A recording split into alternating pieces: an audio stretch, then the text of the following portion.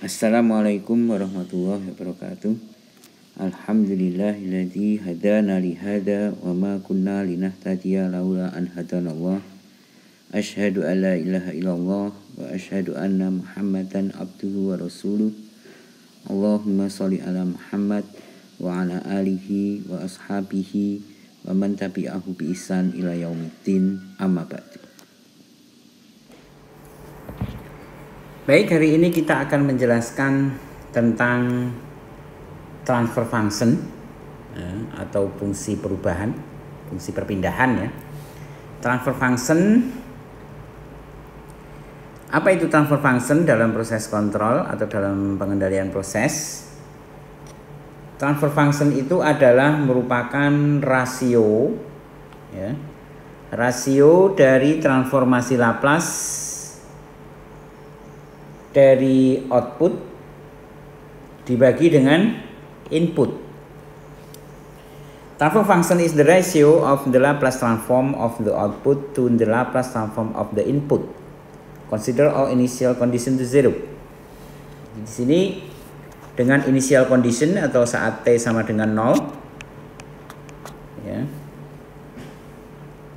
Diasumsikan masing-masing berarti Y0 sama dengan 0 dan juga U0 sama dengan 0 nah, di sini kita punya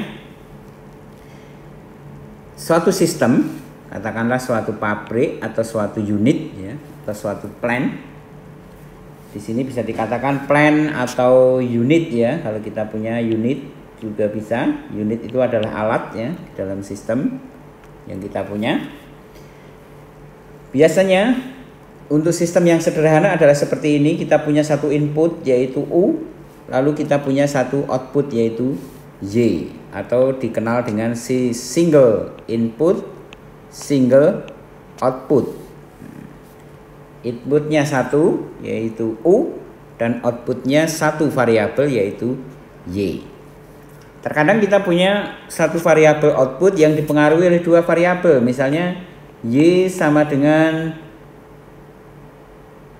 6x1 plus 2x2 berarti di sini dia dipengaruhi oleh dua input yaitu x1 dan x2 lalu mengeluarkan satu output yaitu outputnya adalah y.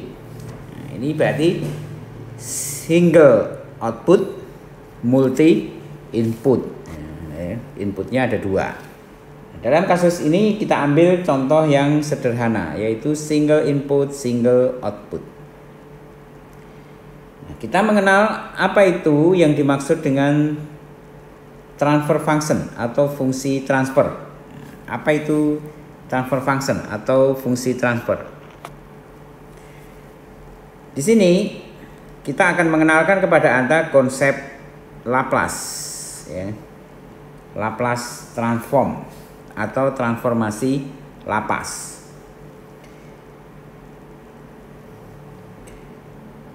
Kita punya variabel u sebagai fungsi t dan punya variabel y sebagai fungsi t.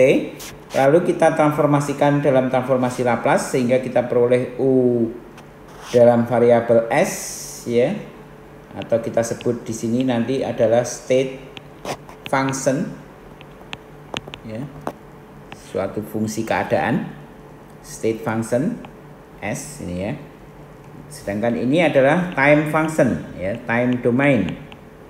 Berarti di sini merupakan fungsi waktu ya kan? Time function di sini fungsi waktu. State function adalah fungsi keadaan. Maksudnya apa itu ya jadi kalau dalam pengendalian kita kan sering mensimulasikan suatu sistem itu dengan fungsi waktu di sini t ya kan. Lalu ini adalah outputnya atau y. Seperti ini. Nah, pada keadaan tertentu di saat t 1 mungkin dia akan menjadi steady state. Nah, jadi tetap seperti ini. Lalu kemudian terjadi perubahan pada saat T2 misalnya. Nah, terjadi perubahan. Kalau fungsi waktu berarti kita perhatikan dari T sama dengan 0 sampai T sama dengan 2. Tapi kalau fungsi state atau keadaan mungkin hanya akan kita tinjau dari keadaan T2 ini. Yaitu saat T steady state dianggapnya adalah sebagai titik 0. Maka yang dilihat adalah perubahannya saja. Itu state function dalam pengertian sistem ya. Nah, di sini kita akan bahas terlebih dahulu tentang apa itu uh, transfer function. Transfer function kita definisikan sebagai output ya, ini adalah output dibagi dengan input. Ya kan? Kita punya keadaan yaitu UT U kecil lalu Y kecil sebagai fungsi T. Lalu kita Laplace transformkan U fungsi T ini akhirnya kita peroleh U besar dengan domain S. Kita Laplace transformkan e, fungsi atau Y ya. Kita Laplace transformkan Y di sini Y fungsi waktu kita Laplace transformkan sehingga menjadi Y besar dalam domain state S ya dalam domain S sehingga transfer function atau yang kita simbolkan dengan GS ini adalah merupakan rasio dari output dibagi input dalam format Laplace transform ya dalam transformasi Laplace-nya. Maksudnya gimana itu ya? Kalau misalnya kita punya fungsi U adalah a t plus bt kuadrat kemudian menghasilkan y yaitu c t plus d t pangkat 5 nah begini. Maka transfer function itu adalah rasio dari Laplace-nya bukan rasio dari fungsi t-nya ini ya kan? Bukan U fungsi T dibagi Y fungsi T ya kan? Sehingga menghasilkan AT plus BT kuadrat per CT per CT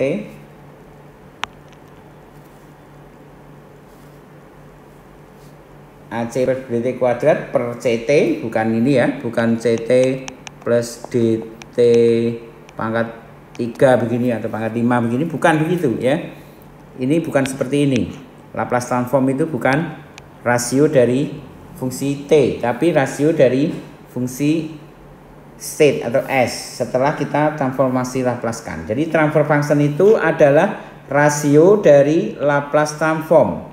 Ya, rasio dari Laplace transformnya, bukan dari fungsinya ya. Bukan dari output dibagi input, tapi setelah outputnya itu kita Laplace transformkan, inputnya kita Laplace transformkan baru kita cari rasionya. Nah itulah yang disebut dengan transfer function yaitu ini rumusnya. Ini adalah transfer function. GS sama dengan YS per YS per US ini ya Laplace transformnya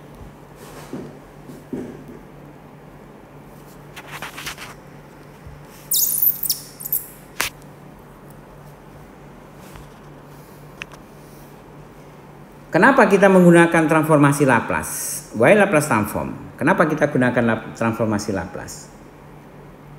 Dengan menggunakan Laplace, ya, dengan menggunakan transformasi Laplace, using Laplace transform, we can convert many common function into algebraic function. Jadi tujuannya kita akan bawa ke persamaan aljabar. Hmm. Pada fungsi tertentu atau fungsi apa pun, kita bawa ke persamaan atau fungsi aljabar ya. dari common function ke algebraic function dalam variabel s. Misalnya kita punya sin omega t. Kalau ini kita Laplace transformkan dari sin omega t, maka kita akan peroleh persamaan aljabarnya yaitu sama dengan omega dibagi s kuadrat plus omega kuadrat. Jadi akhirnya ini yang berbentuk sin nanti berubah menjadi bentuk ini ya. adalah bentuk aljabar. Ini persamaan aljabar.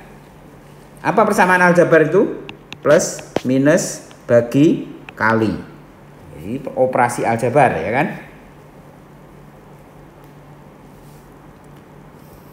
Atau dalam bahasa Jawa pipolondo ping poro sudo lan tambah ya dan kurangi.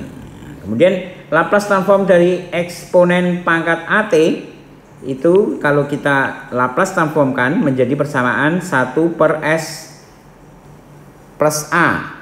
Ini adalah persamaan aljabar. Jadi persamaan diferensial, sinus, kemudian eksponensial itu bisa kita ubah ke persamaan aljabar dengan Laplace transform. Di mana S adalah kompleks variabel. Where S is a complex variable, complex frequency and is given as S-nya adalah sama dengan delta plus J omega.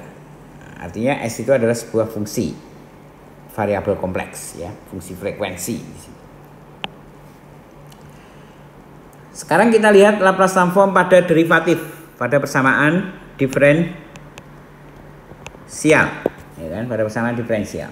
Not only common function can be converted into simple algebraic expression, but calculation operation, uh, but calculus operation can also be converted into algebraic expression. Calculus. We know the calculus. Apa itu calculus? Misalnya persamaan diferensial dy dt. Nah, ini adalah kalkulus, ya kan? Orde 1 maupun orde 2 D dt dari Y ini order 2 ya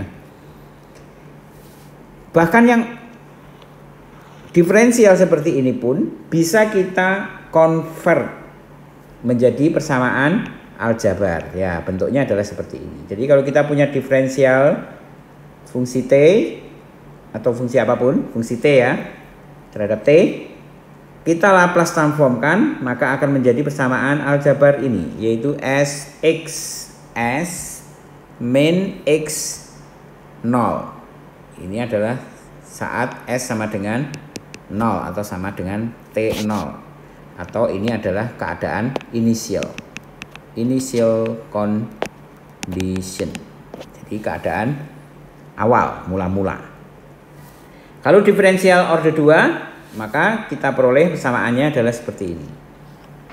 Persamaan aljabarnya. Di sini muncul lagi diferensial order 1 ini ya kan.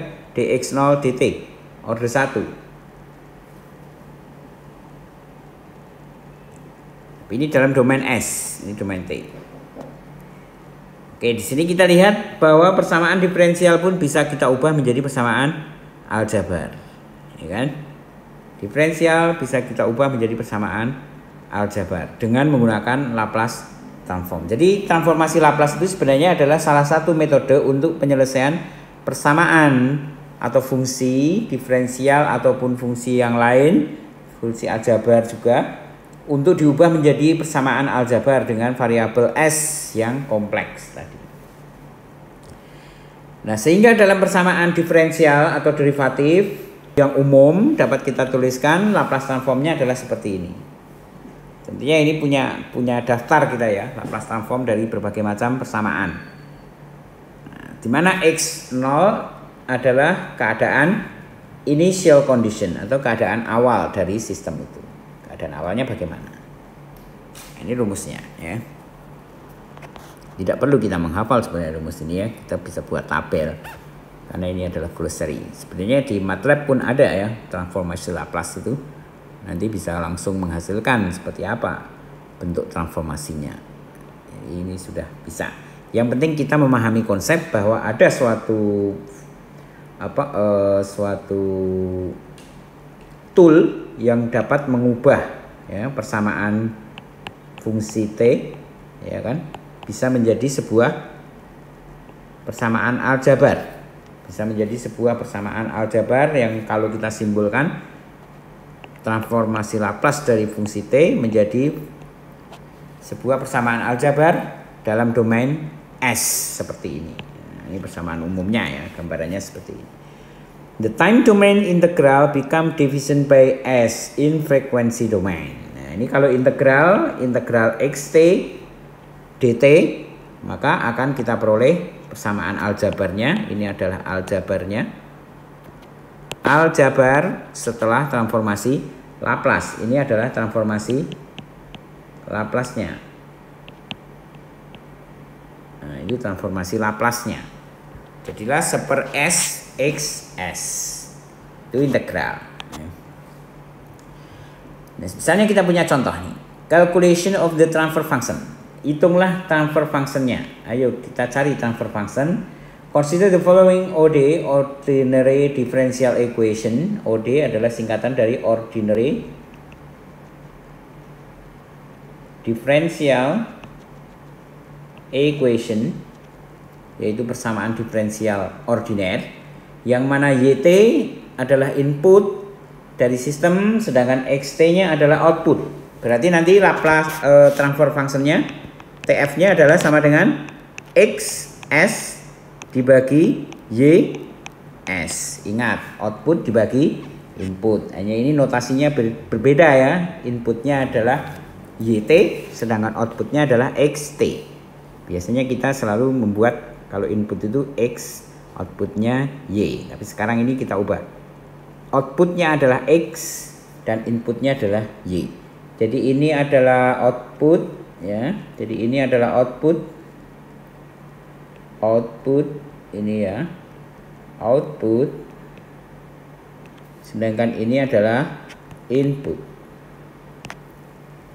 Maka biasanya berada di sisi kiri ya outputnya.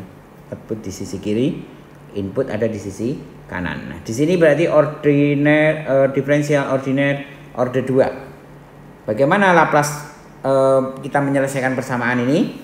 Maka kita Laplace transformkan. Jadi ini kita Laplace transformkan, ini kita Laplacekan, ini juga kita Laplacekan yang sebelah kiri. Persamaan itu bisa juga kita tulis dalam notasi seperti ini, yaitu A X double action itu artinya adalah di sini artinya adalah diferensial order 2. Y aksen ini berarti diferensial order 1. X aksen ini berarti diferensial order 1. Ya, dx dt ini. Jadi ini hanya penulisan lain ya. Penulisan lain dengan notasi yang lebih sederhana. A X double aksen T sama dengan C Y aksen T min B X aksen T. Jadi persamaan di atas persamaan yang ini persamaan atas ini dapat kita tuliskan dalam bentuk persamaan jadi persamaan atas ini persamaan ini ya dapat kita tuliskan dalam bentuk persamaan bawah ini sama maka kemudian kita ambil Laplace transformnya untuk kedua kedua either side ya kedua sisi. Berarti yang sebelah kanan ini juga kita Laplacekan ya kan? Yang kiri pun kita Laplace kan nah, setelah kita Laplacekan kita lihat tabel ya Laplace dari sama diferensial order 1 itu seperti apa yaitu SJS min Y0 SXS min X0 ini adalah Laplace dari dx dt sedangkan ini adalah Laplace dari dy dt ya kan? Sedangkan ini adalah Laplace order 2 Laplace dari dx dt ya kan? Kuadrat. Laplace dari order 2 lalu kita tinggal kumpulin ini kan sudah jadi persamaan aljabar jadi persamaan aljabar berarti kita tinggal kumpulkan atau kita tinggal sederhanakan persamaan ini. Cara penyederhananya gimana? Ya kita satukan aja ini XS, di sini ada XS, kita kumpulin ya kan. Kemudian ada X0, ini ada juga X0 ya kan, kita kumpulin jadi satu. Sehingga akhirnya kita kelompokkan ya. E, kemudian kalau kita ambil satu sistem atau satu keadaan di mana uh, considering initial conditionnya kalau initial conditionnya ini kita set sebagai zero berarti ini kita anggap sama dengan 0 ya ini sama dengan 0 kalau initial conditionnya kita anggap 0 berarti ini uh, bukan dicoret ya. Jadi ini nilainya adalah 0 kemudian initial condition ini kita nilai 0 ini juga kita nilai 0 berarti itu kan akan hilang ya kan? Akan hilang. Berarti nanti yang tersisa tinggal suku ini kemudian suku ini masih muncul ya kan? Kemudian suku ini masih muncul. Bagaimana dengan suku ini? Zero. Zero kita anggap akan nol juga ya kan? Initial condition. Dengan initial conditionnya adalah zero. Kita set sebagai keadaan yang zero. Maka akhirnya kita peroleh AS kuadrat XS sama dengan CS YS min B SX S. Nah, di sini berarti kita sudah punya persamaan ini Lalu kita tinggal cari bagaimana rumus dari XS dibagi dengan YS, ya kan? Maka kita lakukan apa yang disebut dengan rearranging. Jadi kita susun ulang, ya kan? Di sini X kita kelompokkan dengan X, ya. Di sini ada XS, di sini juga ada XS, kita kelompokkan ke sana. Maka kita kumpulkan seperti ini XS maka kemudian kita keluarkan XS nya tinggal ini jadi koefisiennya lalu kita bagi XS dengan YS maka kemudian kita peroleh persamaan ini yang kalau kita sederhanakan kita dapatkan C per AS plus B. Ini persamaannya jadi inilah yang disebut dengan transfer functionnya ya kan ini adalah transfer functionnya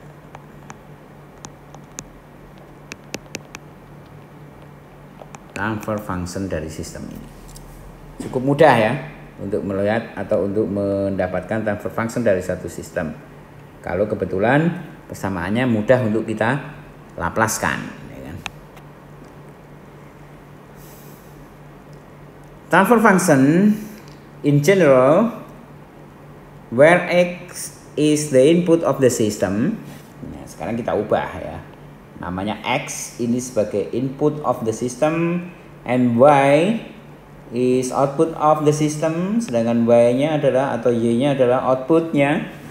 Berarti transfer function rumusnya adalah G sama dengan ini ya kan? G sama dengan Laplace transform dari output ya dibagi dengan Laplace transform dari input jadi Laplace transform dari output ini dibagi dengan Laplace transform dari input. Maka dapat kita rumuskan transfer function itu secara umum bentuknya adalah menjadi seperti ini. Ya. Anggaplah masing-masing nanti akan membentuk persamaan polinomial. Nah, ini polinomial namanya ya. Ini persamaan polinomial. Ya kan? Bawah ini juga polinomial.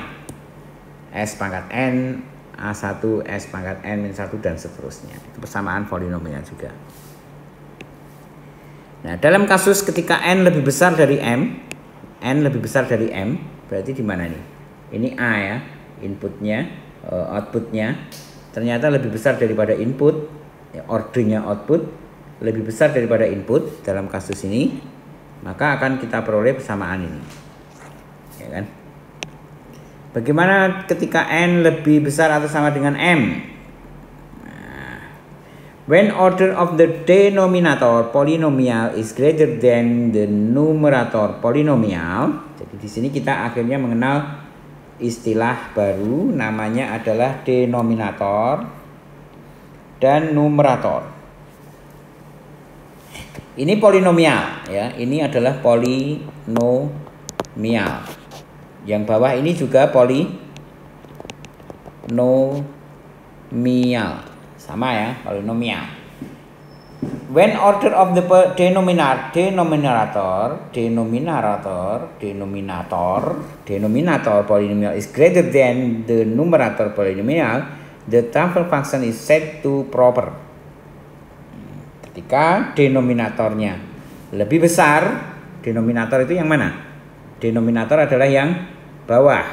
Jadi ini adalah yang bawah. Lebih besar daripada numeratornya yang atas yaitu ketika n lebih besar dari M maka itu adalah dapat kita katakan transfer functionnya is proper ya kan? Kalau sebaliknya berarti improper tidak layak. Proper itu artinya layak ya. Improper tidak layak atau tidak bisa atau ya tidak layak bisa dikatakan begitu. Tapi ini jangan diterjemahkan ya. Katakanlah proper dan ini improper. Itu istilah. Kemudian kita lihat di sini. Transfer function can be used to check apa kegunaan dari transfer function ini? Dapat digunakan untuk memeriksa ya kan? Untuk cek. Memeriksa dari keadaan sistem. Periksa sistem. Apa yang kita periksa? The stability.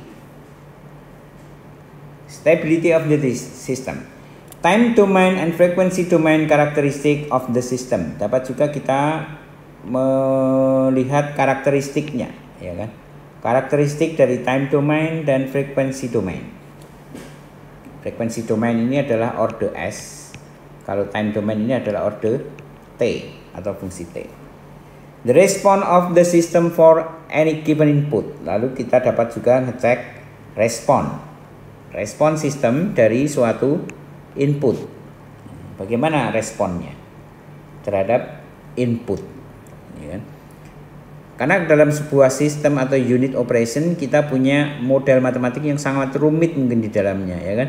Tapi pada hakikatnya sebenarnya kita punya hubungan antara input mungkin pada akhirnya kita hanya punya hubungan antara input dan output dari sebuah besaran atau variabel. Ini namanya respon ya kan.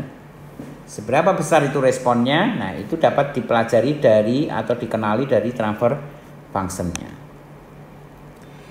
The stability of the control system. There are several meaning of stability. In general, there are two kind of two kind of stability definition in control system study.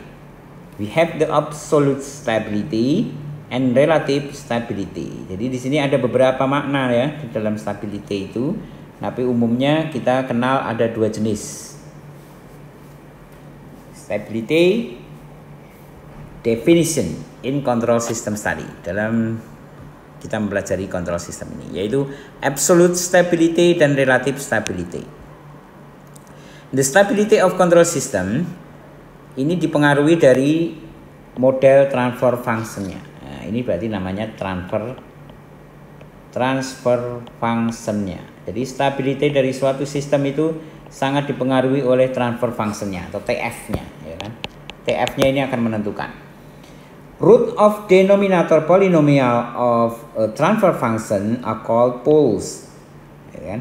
The root of numerator polynomial of a transfer function called zeros.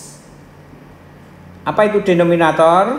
Ingat denominator adalah apa tadi? Denominator adalah yang bawah sedangkan numerator adalah yang atas. Jadi yang bawah ini disebut poles. Sedangkan yang atas ya karena ini karena ini polinomial maka polinomial itu kan nanti akarnya kita punya akar ya kan misalnya kita punya a, a, a misalnya kita buat jangan pakai angka uh, pakai huruf ya pakai angka misalnya 2S kuadrat plus 3S plus 2 misalnya. Ini kan punya akar, ya kan? Kalau bawahnya misalnya 2 eh, misalnya yang bawahnya kita punya 2S pangkat 4 plus 3S kuadrat plus S plus 1 misalnya. Ini kan juga punya akar. Di sini ada akar, di sini juga ada akar yang membuat dia nol masing-masing. Nah, kalau yang bawah kita sebut poles, yang atas kita sebut zeros. Kenapa yang atas zero? Karena ini menyebabkan nilai zeros. Yang bawah poles, kenapa kita sebut poles? Karena kalau dibagi nol menjadi tak tentu ya kan tak berhingga atau tak tentu sehingga itu kita sebut poles stability of the control system poles of the system are represented by x and the zeros of the system are represented by zero atau O. Poles, poles berarti akar yang bawah ya kan. Zeros adalah akar yang atas. The system order is always equal to number of poles of the transfer function. Sistem order atau order dari sistem itu adalah sama dengan jumlah poles dari transfer functionnya. The following transfer function represent an order plan. Jadi ini ya pole dari uh, denominator yaitu poles tergantung polesnya. Jadi kalau di sini ordernya n berarti sistem ini adalah sistem order n ya. Bukan m ya kan? n. Sistem order n. The nth order system the stability of control system. Pole is also called uh, pole is also defined as it is the frequency at which system become infinite. Ya. Kapan sistem itu akan infinite? Tergantung jumlah polnya ya kan? Artinya kapan dia akan memperoleh pembagi nol.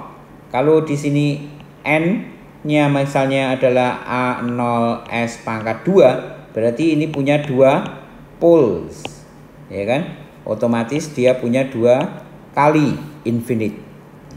Saat titik berapa? Saat titik ada dua titik di mana dia menjadi infinite nilainya.